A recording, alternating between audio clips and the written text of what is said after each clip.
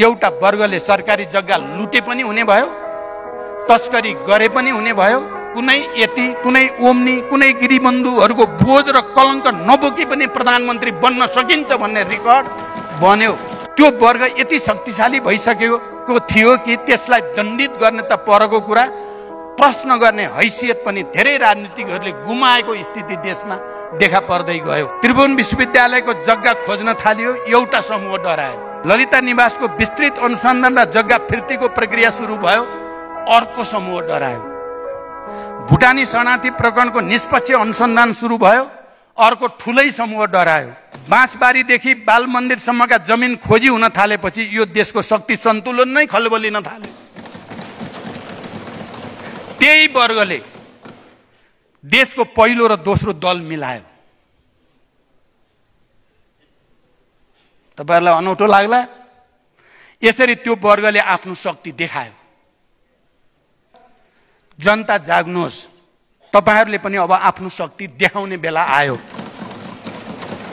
जनताले आफ्नो शक्ति देखाउनु भएन भने देश पुरै शासन फेरि माफियाहरूकै अधीनमा जाने खतरा पैदा भएको छ।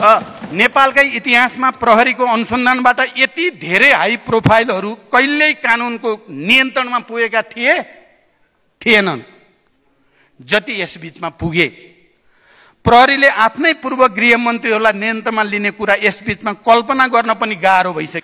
अहिले रात बिरात अहिले रात बिरात रहस्यमय बन्द कोठाहरूमा राष्ट्रिय सहमतिको कलाविहीन नाटक मञ्चन गरिरहेका एमालेका नेता साथीहरू त्यो बेला राष्ट्रिय सहमति सहकार र शक्ति सन्तुलनको मेरो प्रस्तावसँग भड्केर सरकारबाटै बाहिरनु भएको होइन र राष्ट्रपति चाहिँ नेपाली कङ्ग्रेस पृष्ठभूमिका व्यक्तिलाई दिँदा सहकार्यको वातावरण बन्दछ र ठुलो दल दलको हिसाबले शक्तिको न्यायपूर्ण वितरण पनि हुन्छ भनेर मैले नेकपा एमालेका अध्यक्ष र अन्य नेताहरूसँग छलफल सुरु गरेको थिएँ।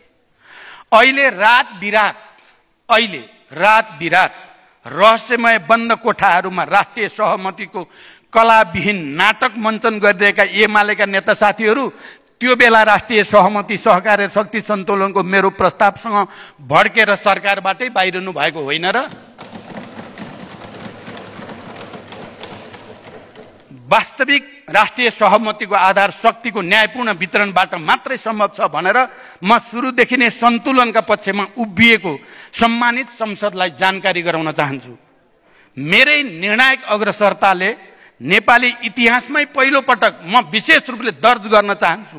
नेपाली इतिहासमै पहिलो पटक अहिले राज्यका मुख्य पाँच दलको सम्मानपूर्ण समावेशी र न्यायपूर्ण शक्ति विन्यास छ।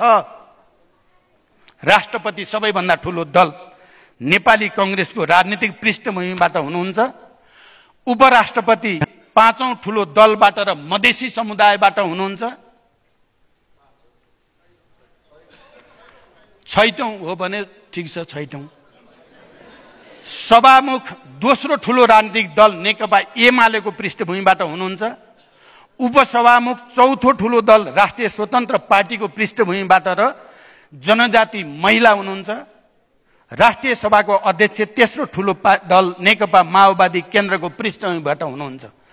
अस्थिरताको आरोप सहेर तपाईँहरूले लगाउने गर्नुभएको छ प्रचण्ड अस्थिर। अस्थिरताको आरोप सहेर पनि राजनीतिक भूमिकाहरूको यति विवेकपूर्ण समावेशी सन्तुलनको लागि मेरो अग्रसरतालाई इतिहासले धन्यवाद देला वा गाली त्यो म इतिहासकै जिम्मा छोड्न चाहन्छु। त्यही व्यक्तिलाई अहिले जालसाजी पूर्ण राष्ट्रिय सहमतिको नैतिक शिक्षा दिन खोज्नु कति न्यायपूर्ण छ? त्यसको जवाब पनि इतिहासले दिने नै छ। सभामुख महोदय यो सम्मानित संसदमा प्रधानमन्त्रीको रूपमा पहिलो सम्बोधनमा मैले